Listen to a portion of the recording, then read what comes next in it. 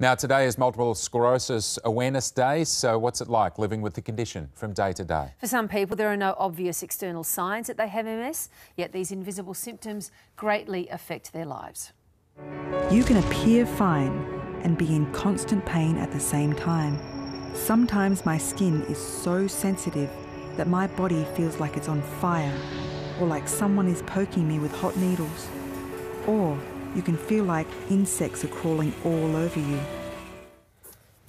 Joining us now is the CEO of MS Australia, Deidre Mackechnie, and Astrid Edwards, who lives with MS and is a national advocate with the organisation. Good morning to both of you, Astrid, Deidre.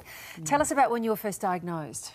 Uh, good morning. Um, first diagnosed about six years ago. Um, I woke up one morning uh, quite violently and my feet were on fire um, an experience I had never had before, um, although unfortunately have quite a bit since. Um, over the next eight years, um, uh, the fire, the pins and needles, numbness, tingling um, ascended pretty much to my breasts, uh, and uh, after an emergency MRI, it was determined that I have multiple sclerosis. How long did it take to get a diagnosis? This is a very important part of the whole MS process, is just how tricky and difficult it is to get a diagnosis, and I think it's fair to say it's often not speedy. Uh, I'm a relatively unusual case. Uh, mine was done in a couple of weeks. Um, right, that is okay. very rare. Yeah. Um, and that was because of the um, the, um, the extraordinary extraordinary nature of my symptoms. The severity um, of them, yeah. I probably had MS for at least a year, maybe um, many years if you look at my um, condition. So it's hard to tell. Deidre, do people understand MS as much as they should?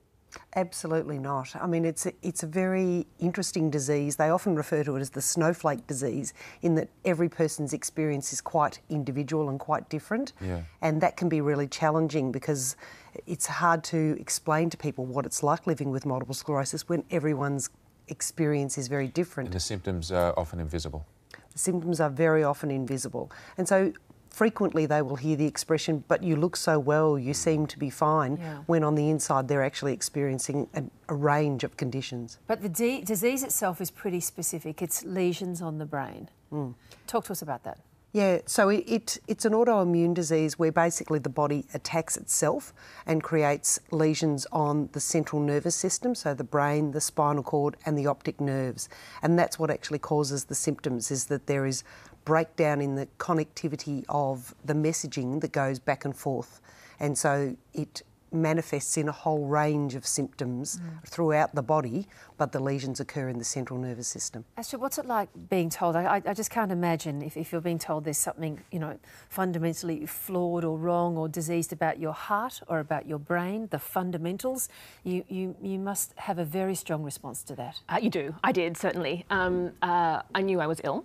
Um, and my mother flew down from Sydney, um, and we knew something. We were going to get a diagnosis of some sort. It was quite traumatic. Um, I didn't take the first year very well. And of course, living with multiple sclerosis, living with any kind of chronic illness, um, you don't just get over it. It takes a long time. And in addition to the physical uh, symptoms that you're experiencing, you also, you know, there's an emotional reaction, a psychological reaction to what does this mean for the rest there's of my life. There's a process of acceptance, I would imagine. There is a process, and it takes a long time.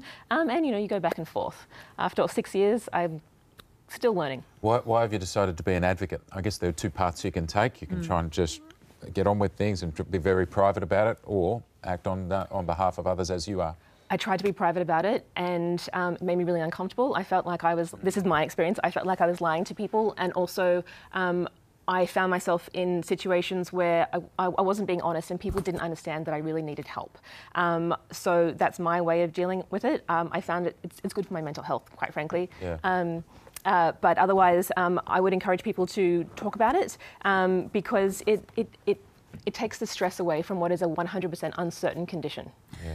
Look, it's very tricky because we hear often the, the condition of MS, and I understand there are a number of them, but the most common one is the, the relapsing remitting. Mm -hmm. What does that actually mean? Um, meaning, when you have the full blown symptoms, I guess you're in a bad place, but when you don't, are you absolutely fine?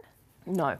Um, so I was diagnosed six years ago, have had about five relapses since, and in those relapses, uh, they've all been different. I never know what, really? what to expect. Right. All five have been quite different. Um, I often end up in hospital for kind of 12 hours, and then no one knows what to do with me and sends me home. Um, uh, but from day to day, I do have various symptoms that you can't see. You know, people at home won't be able to see. Um, uh, a story that um, I now find funny, but I did not find at the time was um, I was walking home wearing sensible flat shoes um, a couple of months ago, and suddenly my foot didn't work, and it's called drop foot, and suddenly I couldn't just I couldn't walk, um, and I broke my toe because I didn't know where the ground was. Yeah. Um, who who breaks their foot? Uh, breaks their toe walking home. Walk along in flat Yeah, shoes. yeah. Wh- What is the treatment like? I believe you, uh, you've uh, learned to uh, build in rest days because you're still uh, very active uh, professionally and, and you have to sched- schedule in that rest time. I, I work work full time, and that is one of the myths about MS and other invisible diseases. People people assume that we can't do anything or we um, work at a reduced capacity. Um, that doesn't have to be true, and it's not true. Uh, but I do have to manage my condition. I um, uh, do schedule in rest days, and I do schedule in uh, work from home days, and. Uh, I spent many years not being employed because people are scared of the stigma surrounding MS, um, Yeah. and I'm very proud to say that RMIT University now employs me. Beautiful employer. Well done. That's good to hear. Deidre, just finally on World MS Day, what would you like everyone watching this morning who, who's not directly affected by it to know and to do? I think it's really important for them to, to just increase the awareness, to, to, I guess, realise that people don't know what someone is going through and to be aware that they might be experiencing difficulties that perhaps they can help with. Mm. But really importantly, to think about some of the things that Astrid just said then. People with MS are diagnosed, 75% of women, they're usually around the age of 30. So they're right in the prime of their life. They've got so much they can offer. They're kickstarting their careers, they're thinking about having families. And we want people to realise they can still do all those sorts of things. It's, it is a difficult disease, but there is really good treatment out there and they can live a really full and productive life, just like Astrid is And, you- doing. and just finally, Astrid, you're writing a book, I believe, uh, on the side of everything else you're doing. doing many things. I do teach writing, so um, yeah. yeah, writing is my friend. Good luck. yes, yes. Well, you're not slowing down. Thank great, you very much. to So nice to meet you both. Go well. Thank you. Thank, Thank you. you. Thank you. World MS Day. So uh, bear that in mind, particularly if you're watching us this morning thinking, actually, I do know someone who has MS. Uh, pick up the phone, give them a call.